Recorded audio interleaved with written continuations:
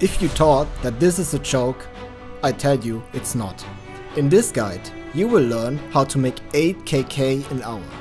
And this on level 180. You want to rush levels faster than Speedy Gonzales? Getting a detailed hunt perspective of the knight and the druid? I will teach you the things to avoid. Sit back and relax. In the spawn you will only kill one monster. What kind of creature is that?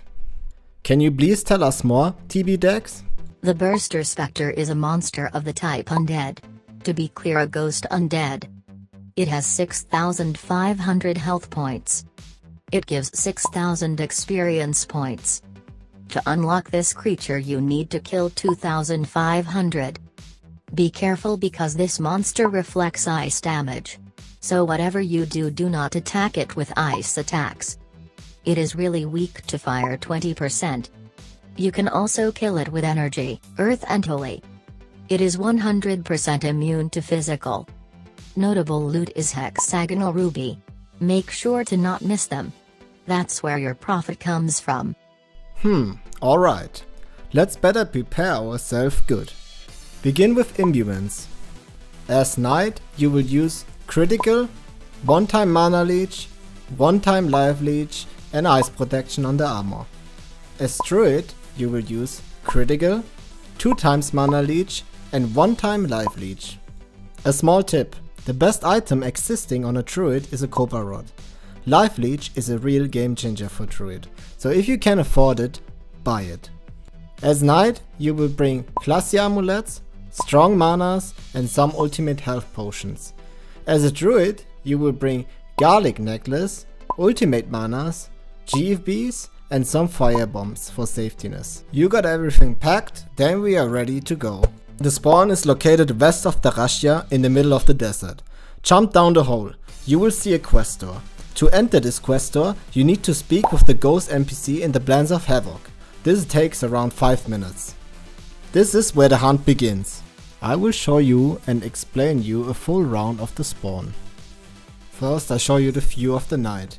These tunnels are really narrow, it's easy that a monster will retarget on a druid, if it can't reach the knight. Slowly make your way into the spawn. Kill the entrance part and then move to the north.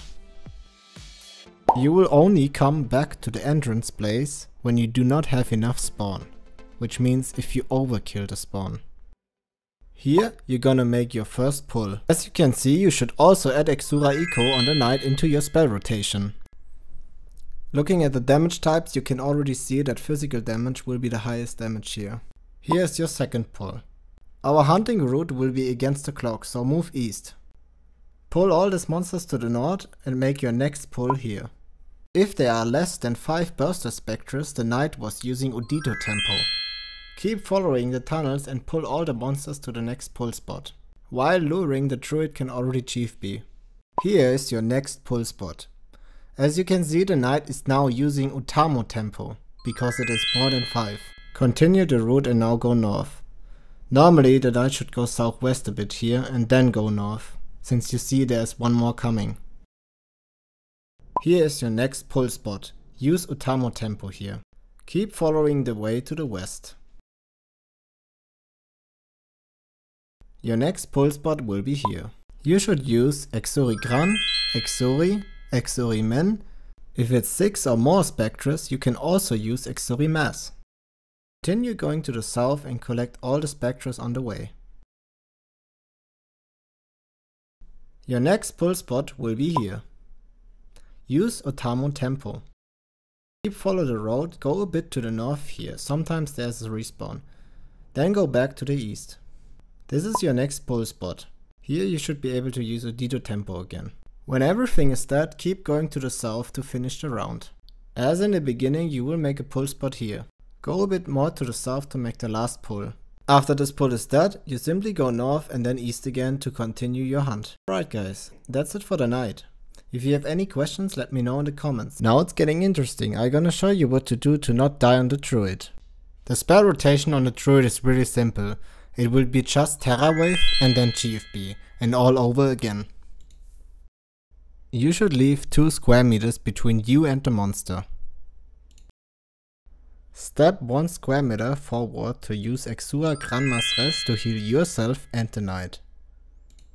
If you have a monster on you, you can firebomb yourself so the monster retargets on the knight.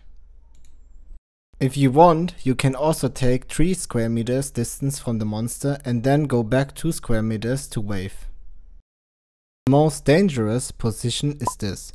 Can you see that the burster spectres are facing you and waving you? Then you should take a lot of distance. Alright, that's the most important things on the druid. How do you like it so far? Put it in the comments and don't forget to leave a sub. Alright, let's talk about the damage we get and what's the best equipment to use. The total damage on a knight in 4 minutes was 125k.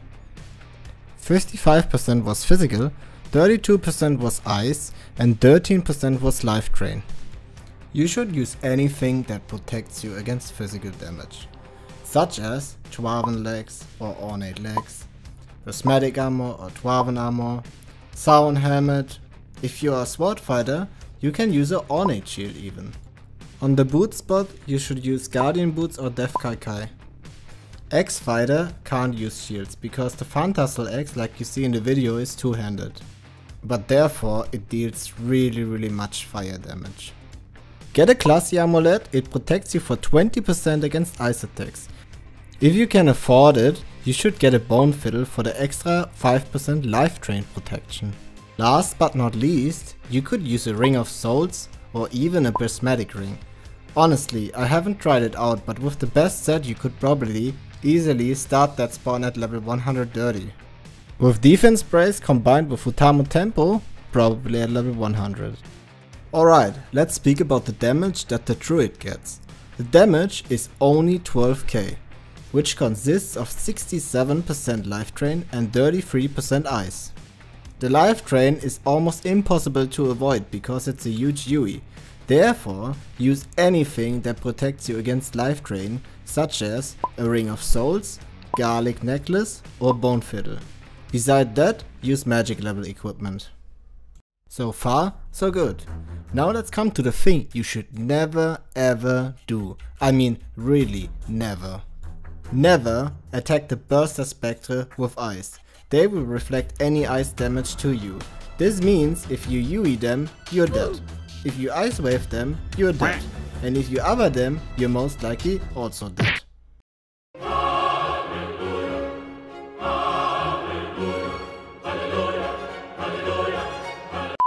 Alright guys, that's it. Make sure to check out my two Twitch channels, Lee Ragnarsson, streaming Tuesday, Thursday and Sunday. Tibia Lee 2 for Tibia content, 100% trusted dice games and middleman deals for items. I gonna see you in the next guide.